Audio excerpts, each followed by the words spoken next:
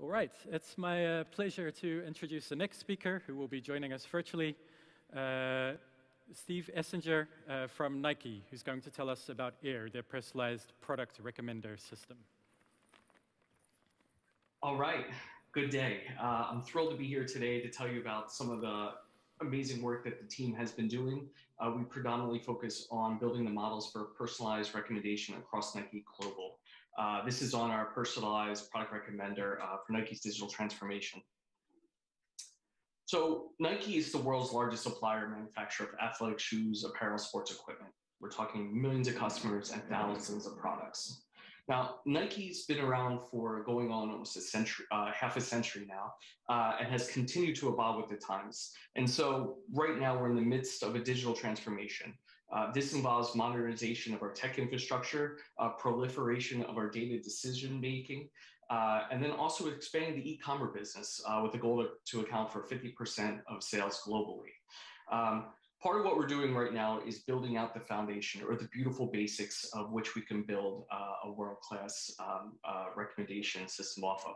And so that first piece there is to unify all personalized recommendations across Nike app, Nike.com, and sneakers. Uh, now, we span a very complex landscape. Uh, there is Nike Global, which spans four geographic regions. Within each of those regions, we have Nike app, uh, uh the different apps, including sneakers. We also have Nike.com.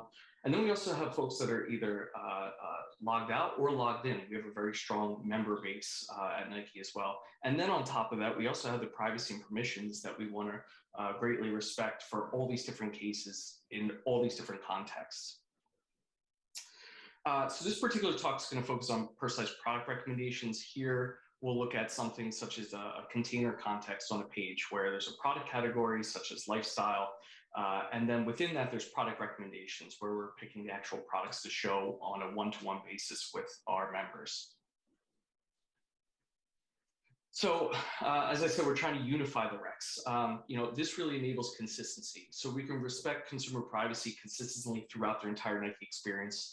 Um, it's really going to help with deployment and monitoring of all the models that we're shipping. It also uh, mitigates um, bespoke models that might be built and then languish in different places because uh, they're not getting the proper attention. Uh, this also allows the team to really focus um, on a core set of, of goals and a model, um, and of course, uh, avoid very expensive tech debt as well. So to do this, our philosophy is really based on a virtuous cycle. Um, we start with a core model and we focus on iterating that core model. Uh, every experience that we go to that we go to put the model into, uh, we do A/B testing. So very principal approach to demonstrate the value and lift. Um, obviously, the goal is to win, and if we're not, we're iterating until we do. Um, and then this delivers incremental value for the business. So we're increasing the number of personalized digital experiences that we can power, which enhances the consumer experience. Um, this also um, enables us to, to add value where we are getting more opportunities for more placements of our personalization throughout Nike as well. Uh, and then the fourth part, importantly, is to sunset. So any existing uh, models that were there that might have been languishing, uh, we want to reduce the tech debt with those as well. So this is this has been our, our general philosophy. So talking about our core model here, we have uh, Alice which ranks the Nike product catalog uh, for each member based on their predicted probability of their next purchase. Uh, this is a batch model, updates daily. Um, it's open loop, so impressions data were not available at the time from the app. So we would collect signals throughout uh, uh, consumer journey throughout Nike and use that as input data into the Allison model, and then rank the um, the, the products and then return them to the um, the front experience. And we would A-B test this um, at, a, at a much larger level up the funnel. Uh, and then, of course, we expand this across the four different uh, uh, geo regions. So going a little more in depth here with the Allison model, uh, we take consumer interaction data, think of purchases that are collected across the platform. Uh, we're using the user embeddings uh, from implicit matrix factorization, particularly using ALS uh, it's a great workhorse. Um, are, and they're combined with uh, user profile and popularity features uh, that we put into a, a, neural network. We train this feature set to predict the next purchase, and we use a price weighted categorical cross, be loss function. Uh, and the targets here is really the next purchase or next set of purchases. Um, we use uh, HyperOpt to um, to tune the model. Uh, and then we can put some experience filtering on top of it as well.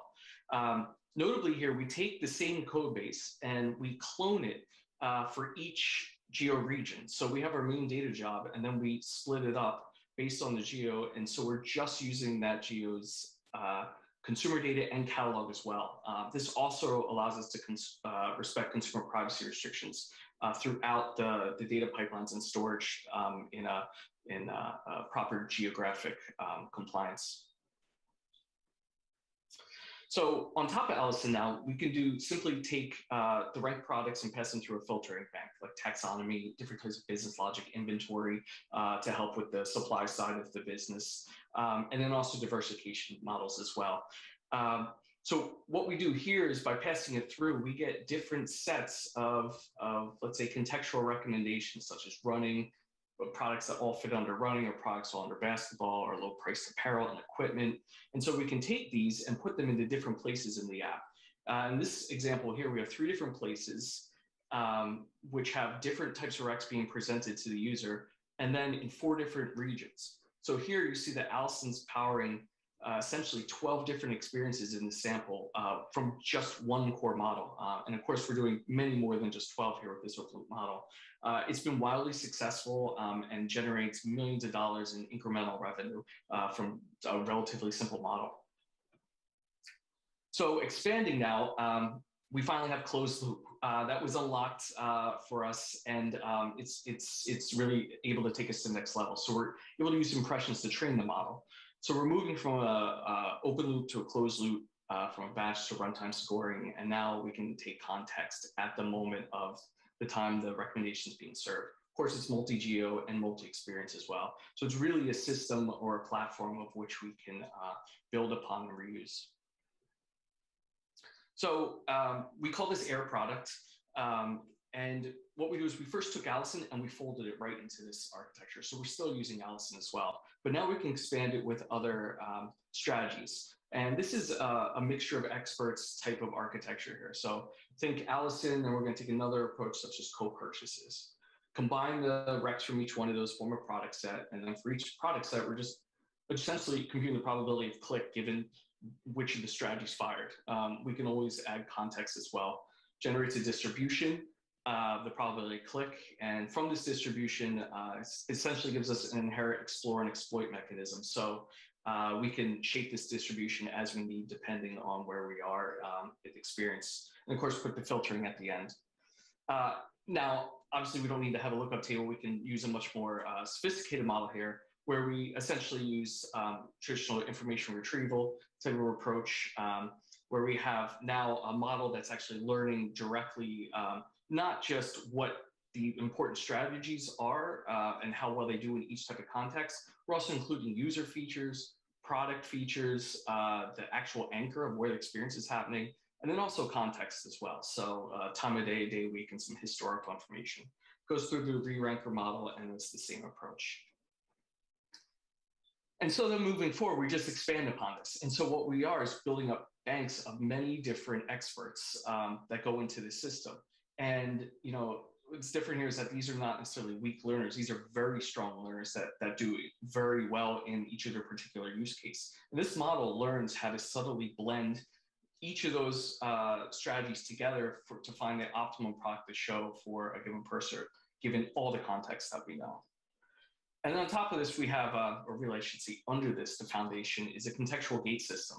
So this is going to allow us to um, uh, choose different strategies, the different features that are allowed to use, um, different score distribution, the type of filtering that we're going to do based on permissions. So whether we can use clickstream or demographic data, what is the user state? Are they logged in or logged out? And then what experience are we powering? Is it a product page? Is it favorites? Is it a cart checkout page? And so this model can be used across many, many different use cases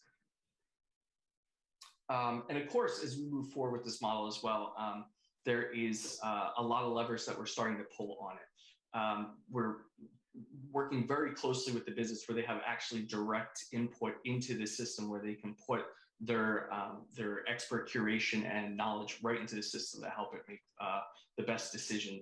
Um, we're looking at multi-objective on the targets. Um, we're looking at different types of boost cut based on strategy or demand or um, dealing with inventory. Uh, and then of course, different bandit architectures on top of it as well. So it's really given us a really nice platform to work with here. And the team continues to expand upon it. We work very closely. Um, uh, it's a very multidisciplinary effort. We have data engineers, data scientists, ML ops, privacy, uh, product management, program management. It's um, uh, analysts with our A/B tests and such. Um, so it really takes a village. Uh, and we're just really getting started now, uh, where we have shipped this system. This is this is live today, and um, we're really excited about what we're building next. Uh, of course, it's always just day one for us, though. And so uh, I want to thank you. I hope that this uh, was just a useful case study for you, that there was something useful that you can take away from this.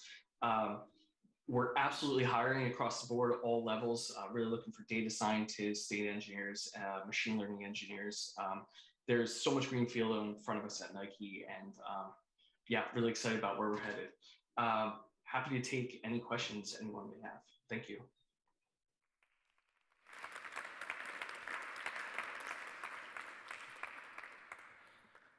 Thank you, Steve. Uh, we have some questions coming in online. Uh, our first question is from Claire Cowie, who asks, uh, given the huge number of different inputs, how do you go about explaining what the model is doing, uh, either for debugging, but also, also for the users of the system? Yeah, that's a great question. So a large part of it is that we're relying on the experts themselves, these, this mixture of experts. And so when a recommendation fires, we look back to what was generating those recs. And so by having this decoupled system, uh, rather than just having one big, large model, but having many models that fit together, you can have more of an audit path to go through about where the decision was made um, uh, along that path. Okay, thank you. And a question from Parvez Rafi. Uh, how do you perform real-time ranking and filtering uh, so for example, on an e-commerce platform, uh, you don't really want to recommend the product uh, that a user has just purchased.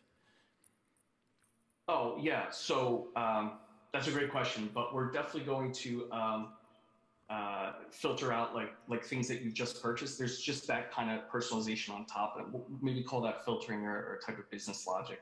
So the system in there may still know that this is a good product for you, but there'll be just a hard filter to say not to do that. Um, however, it can start to get more nuanced where there could be a repeat purchase, right? So how much time goes by where you might want to recommend that item again? And so there's a bit of science then that goes into that and figuring out that piece. And that essentially becomes a model in itself as well. So we really have models upon models uh, working here. Okay, thank you. I think we have time for uh, one or two more questions. Uh, we have some coming in online still. Uh, uh, one question, and I'm not sure you're allowed to answer, but uh, oh yeah, maybe probably a ballpark. Uh, what's the number of users look like approximately? Oh, the question is billions or millions, yeah, so you might that, be able to get some idea. That is a great question. Uh, love to share it. Um, we could say, I, I could say millions, um, multi-millions, uh, but I, I'm not clear to give any specifics on numbers right now, unfortunately. Um, but hopefully um, uh, next year we, we might be able to share a little bit more data in that space. Okay, thank you. Uh, maybe the last question. Uh, then, uh, do you have any comments on how you do offline evaluation?